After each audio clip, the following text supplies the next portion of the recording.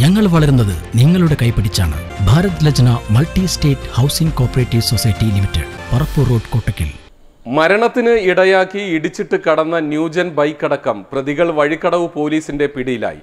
മുന്നൂറ്റി അറുപത്തി മൂന്ന് ദിവസങ്ങൾക്ക് ശേഷമാണ് പ്രതികളെ പിടികൂടിയത്. അപകടത്തിന് കാരണമായ Bajaj Pulsar two hundred N S bike ഓടിച്ച കാരപ്പുറം സ്വദേശി മുഹമ്മദ് സലീം അഖിൽ തുടങ്ങിയവരെയാണ് Vazhikkadavu police inspector Manoj പറയറ്റ arrest ചെയ്തത്. അപകടമുണ്ടാക്കിയ ബൈക്കും പോലീസ് കസ്റ്റഡിയിലെടുത്തിട്ടുണ്ട്. അപകടം നടന്ന് മുന്നൂറ്റി അറുപത്തിമൂന്ന് ദിവസങ്ങൾക്ക് ശേഷമാണ് പ്രതി വഴിക്കടവ് പോലീസിന്റെ പിടിയിലാകുന്നത്. തുടർച്ചയായ നിരീക്ഷണവും ശാസ്ത്രീയമായ അന്വേഷണവുമാണ് പ്രതികൾ പിടിയിലാവാൻ ഇടയായത് സംഭവത്തിൽ മുഖത്തും കാലിനും നേരിയ പരിക്കുപറ്റിയ അഖിൽ പരുക്ക് പുറത്തു കാണാത്ത വിധം നടന്നുവെന്നും പിടിക്കപ്പെടുമെന്ന് ഭയന്ന് ചികിത്സ തേടിയില്ലെന്നും കുറ്റസമ്മതം നടത്തി. രണ്ടായിരത്തി ഇരുപത്തിയൊന്ന് ജൂലൈ ഇരുപത്തിയൊന്ന് വലിയ പെരുന്നാൾ ദിവസം പുലർച്ചെ നിലമ്പൂർ എസ് ഐ അസൈനാറുടെ പിതാവ് പാലാട് മൂച്ചിക്കൽ മുഹമ്മദ് കുട്ടി അജ്ഞാത വാഹനമിടിച്ച് മരിച്ചിരുന്നു. പുലർച്ചെ നിസ്കാരത്തിനായി പള്ളിയിലേക്ക് നടന്നു പോകുന്ന സമയത്താണ് അമിത വേഗതയിൽ വഴിക്കടവ് ഭാഗത്തു നിന്ന് വന്ന ബൈക്കിടിച്ച് ഇദ്ദേഹം ദാരുണമായി മരണപ്പെട്ടത്. ഇടിച്ച വാഹനം നിർത്താതെ പോയത് കാരണം അപകടത്തിൽപ്പെട്ടയാൾ നടു റോഡിൽ രക്തം വാർന്നു കിടന്നു. പല വാഹനങ്ങളും അതുവഴി കടന്നുപോയെങ്കിലും ആരും അദ്ദേഹത്തെ ശ്രദ്ധിച്ചില്ല. പിന്നീട് ചരക്കുമായെത്തിയ ലോറിയിലെ ഡ്രൈവറാണ് ഇദ്ദേഹത്തെ കാണുന്നതും ആശുപത്രിയിൽ എത്തിക്കുന്നതും നിലമ്പൂർ ജില്ലാ ആശുപത്രിയിൽ എത്തിച്ചപ്പോഴേക്കും മരണം സംഭവിച്ചു കഴിഞ്ഞു. തുടർന്ന് വഴിക്കടവ് പോലീസ് കേസ് രജിസ്റ്റർ ചെയ്യുകയും ജില്ലാ പോലീസ് മേധാവിയടക്കം ഉന്നത പോലീസ് ഉദ്യോഗസ്ഥരും ശാസ്ത്രീയ കുറ്റാന്വേഷണ വിഭാഗവും സ്ഥലത്തെത്തി പരിശോധനയും നടത്തിയിരുന്നു.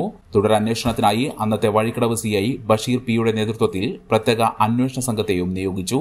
സംഭവ സ്ഥലത്ത് നിന്ന് ഡബ്ല്യു എന്നെഴുതിയ തൊപ്പി മഴ നനയാതിരിക്കാനുള്ള ഒരു നീല പ്ലാസ്റ്റിക് കവർ ഒരു ജോഡി ചെരുപ്പ് ഹെൽമറ്റിന്റെ പൊട്ടിയ ഗ്ലാസ് എന്നിവ ലഭിച്ചു.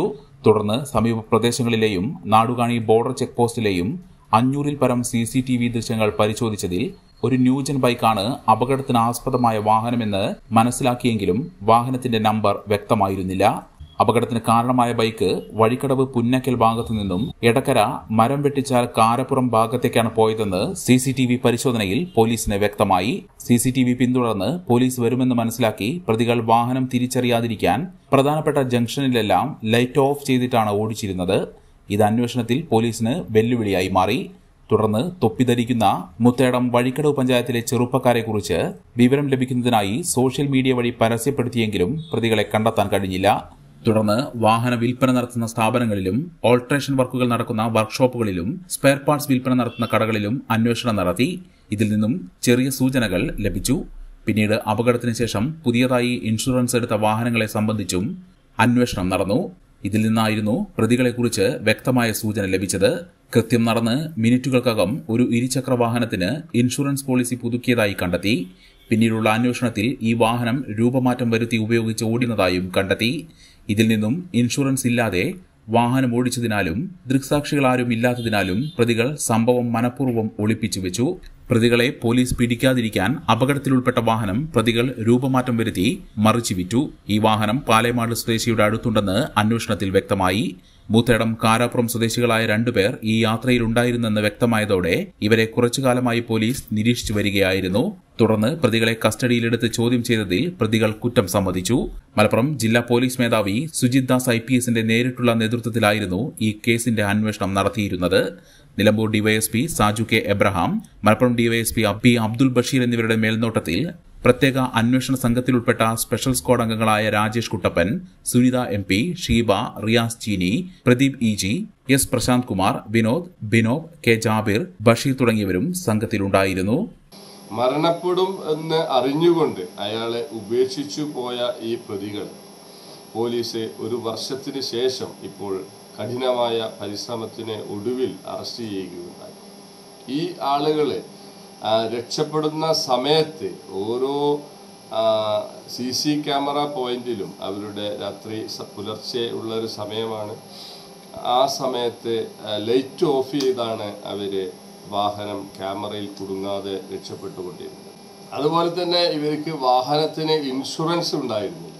പുലർച്ചെ സമയത്ത് ഇവർ ഓൺലൈൻ മുഖേന ഇൻഷുറൻസ് അടയ്ക്കുകയാണ് ചെയ്തത്. പോലീസ് നിരന്തരമായ അന്വേഷണത്തിനൊടുവിൽ പത്ത് അയ്യായിരത്തോളം വീടുകൾ പരിശോധിച്ചു. മുന്നൂറിലധികം ആളുകളുടെ മൊബൈൽ ഫോൺ വിവരങ്ങൾ ശേഖരിച്ചു. ഇതിന്റെയൊക്കെ നീണ്ട ഒരു വർഷത്തെ കഠിന പ്രയത്നത്തിന്റെ ഒടുവിലാണ് പ്രതികളെ പിടികൂടാൻ സാധിച്ചത്. ഈ ആളുകൾക്കെതിരെ നരഹത്യ കുറ്റത്തിനാണ് പോലീസ് കേസെടുത്തിട്ടുള്ളത്. നാളെയും സമൂഹത്തിൽ അപകടങ്ങൾ സംഭവിക്കുകയാണെങ്കിൽ ഉടനടി ഈ ആളുകളെ ആശുപത്രിയിലെത്തിക്കുകയും പോലീസിൽ വിവരമറിയിക്കുകയും ചെയ്യുക എന്നുള്ളത് ഒരു പൗരന്റെ കർത്തവ്യമാണ് എന്ന് എല്ലാവരും അറിഞ്ഞിരിക്കേണ്ടതാണ്. ഇല്ലെങ്കിൽ അത് വളരെ ഗുരുതരമായ ഒരു കുറ്റകൃത്യമായിട്ടാണ് നിയമം കണക്കാക്കുന്നത്. Celebrate the moments of colors. KMT Silks, Perindalmanda, the The cooperative urban bank limited head office Office, twenty 24 branches Zeenath silks and sarees metro plaza Tirur road Kottakkal സ്ഥിര നിക്ഷേപങ്ങൾ മാസത്തവണകൾ എന്നിവയ്ക്ക് ഏറ്റവും ഉയർന്ന ലാഭവിഹിതം നൽകുന്ന കോട്ടക്കലിലെ കേന്ദ്ര സർക്കാർ അംഗീകൃത സ്ഥാപനം. Bharat Lajna multi state housing cooperative society limited Parappur road Kottakkal phone double nine four six double nine double nine seven six.